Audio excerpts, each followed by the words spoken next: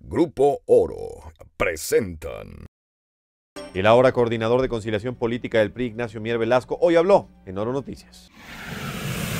Mi trinchera no ha cambiado, mi amistad, mi afecto, mi gratitud con Enrique Doger será, es innegociable, pero también lo debo de decir, y tú lo acabas de señalar cuando hiciste el favor de presentarme, yo he tenido la oportunidad de participar en el PRI desde casi un niño, desde 1978 que, que milito en el partido, fui dirigente juvenil hasta ocupar la dirigencia estatal y fui diputado local y diputado federal, federal suplente de senador. Y yo no tampoco le puedo regatear ni al partido este, mi participación ni mi colaboración cuando yo he sido beneficiario de muchas cosas gracias al, al partido, entre otras mi desarrollo personal y también, debo decirlo con toda honestidad, ahora, como diría Juárez, en la medianía, y me conoces, Sí. también ha sido el sustento de mi familia y, y eso yo no lo puedo olvidar y no lo voy a hacer, sería un malnacido si así lo hiciera, tanto traicionar a mis amigos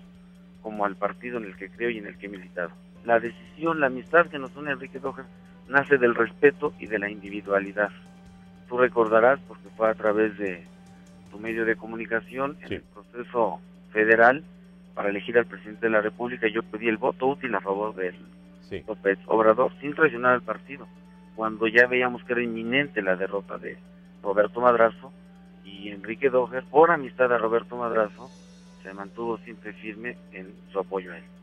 Y no me corrió del ayuntamiento, ni solicitó el cabildo, ni renuncia, hubo un respeto a, a, a la decisión que yo tomé y como sucedió en muchas, en múltiples ocasiones, no hay que olvidar que Enrique Doger es un académico, que viene de la universidad y de la universalidad del pensamiento y del respeto y la tolerancia a la diversidad. Y, y eso es lo que nos une, es, compartimos esa creencia que debemos de respetar las decisiones individuales de las personas. No hacerlo es traicionar la amistad y yo creo que él lo valorará y él determinará lo que en, en su circunstancia, en su situación, mejor convenga y el partido también tendrá que hacer el mayor esfuerzo porque hay que decirlo también con honor a la verdad, este, Iván, y tú lo sabes, que el político mejor posicionado en Puebla es Enrique Doger, en, en- la ciudad y en muchas regiones del estado.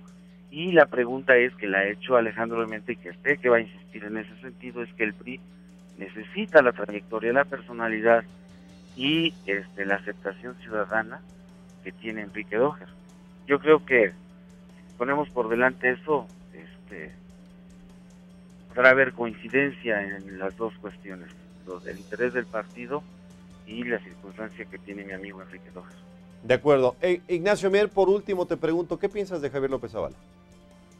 Pienso que es el candidato del PRI, que participamos en un proceso interno, que la democracia es un proceso que tiene que ser perfeccionado permanentemente, casi afuera se ha avanzado mucho, adentro también lo tendrá que hacer.